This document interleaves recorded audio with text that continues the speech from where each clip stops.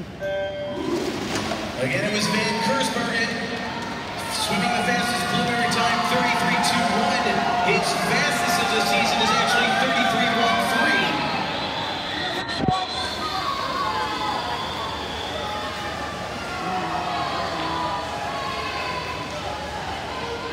33.13.